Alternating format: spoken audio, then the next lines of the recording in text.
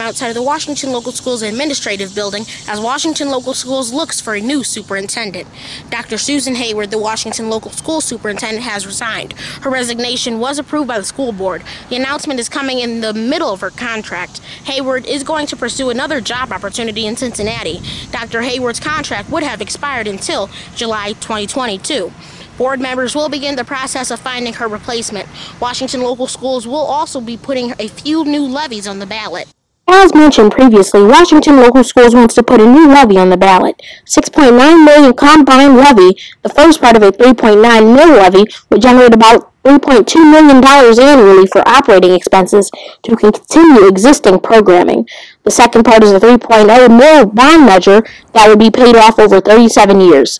This would add $50 million, which is the district's part of an 80-20 split with the state of Ohio.